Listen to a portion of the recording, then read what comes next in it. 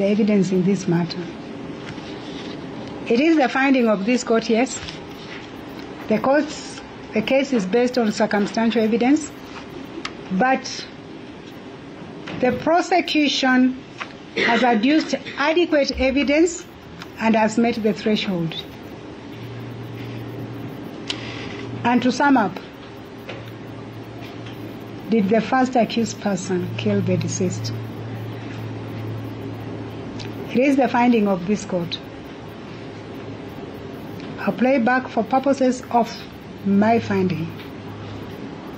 First accused person stole the ID of Dominic Becerra two days prior to the commission of the offense, armed himself with a gun, carried a kanzu, put it over his cloth, went to Lamuria Gardens, disguised his identity, gained access to the apartment of the deceased, murdered the deceased, left the deceased house, changed his clothes, and eventually went home and burnt the cloth which he wore during the commission of the offense.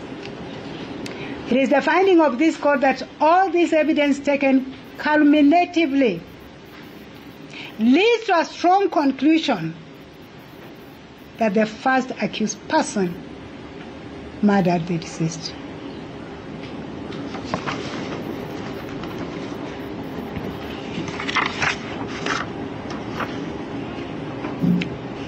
And therefore, it is the finding of this court that the prosecution has proved beyond reasonable doubt all the ingredients of the offense of murder, the death occurred, the cause of that death, the person who, and in this case, the first accused, I'm still on the first accused person,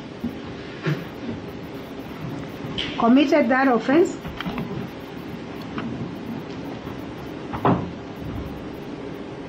It was not a case of homicide. Excusable homicide, it was unlawful.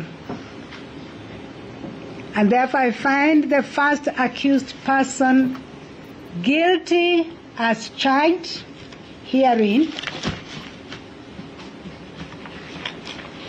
of the offense of murder that on the night of 19th of September 2018 at an unknown time at Lamuria Gardens apartment, Kitale off Dennis Pritt, with others known before this court, he murdered Monica Nyawira Kimani.